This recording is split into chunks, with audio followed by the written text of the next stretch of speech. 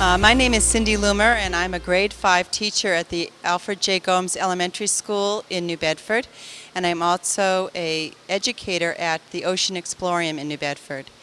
I believe that it was William Glasser who said that if I hear, I forget, if I see, I remember, but if I do, I will understand. And uh, it is that essential learning of doing something that um, brought me to bring my students to the Project Oceanology site at the Avery Point campus for an overnight experience.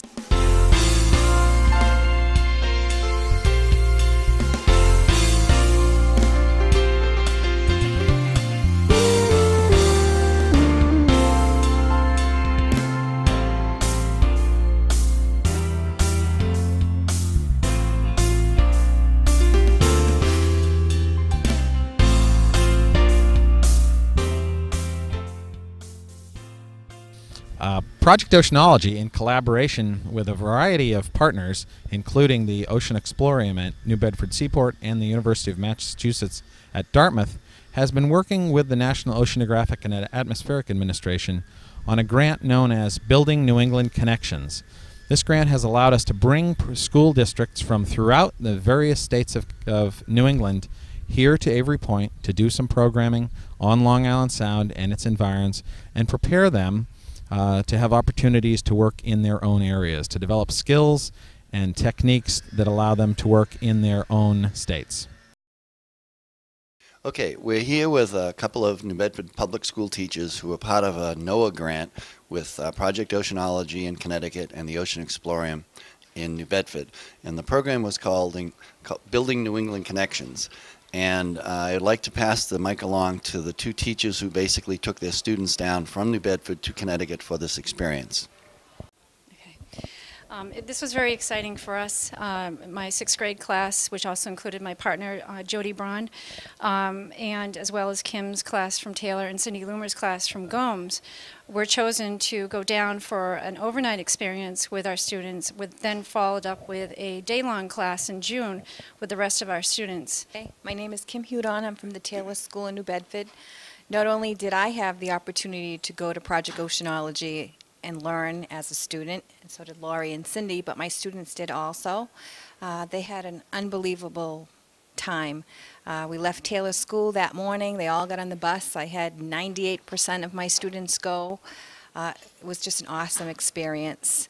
They slept overnight in the dorm, which they thought was the neatest thing because the college experience, and they felt like a, a big girl, a big girl, big boy, big student. Um, they did all kinds of labs and we did field studies outside and we went on the Project Oceanology boat and they did all kinds of lab experiences and got to see marine organisms that they didn't even know exist and measure them and count them.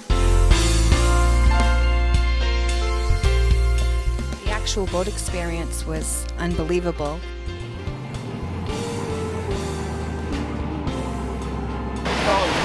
Colors on our lobster pots, and all of our gear that goes in the water, you'll find a buoy with this color on it, okay? The ones are gonna do the work, catching the water like that, just like I was talking about, okay? So all you're gonna do is open your hands, let the... It was sunny outside. Do you think that's going to affect the light? Obviously. So then in turn, will that affect the temperature? Yep. Probably in a little warmer waters. All right. We are in, Cap. All right, so guys.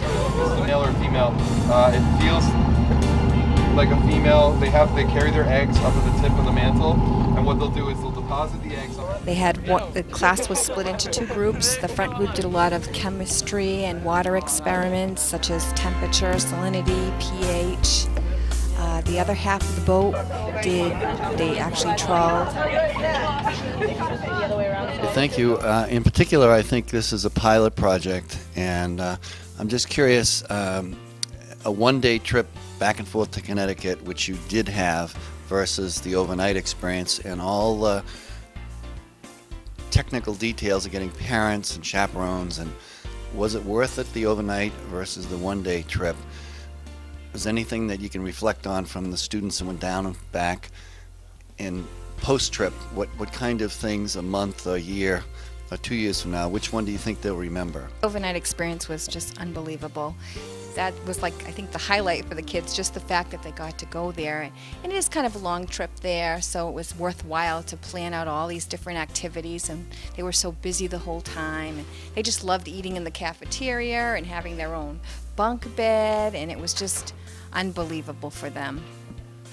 Um, I agree with the overnight experience. You had more time to be able to do the projected activities. Um, field trips of this nature have a much greater impact on lifelong learning. And I am extremely convinced that when my students look back on their overnight field experience to the Project Oceanology site, the Avery Point campus at UConn, that they will say it was probably the best learning experience, probably of their whole career in school in New Bedford.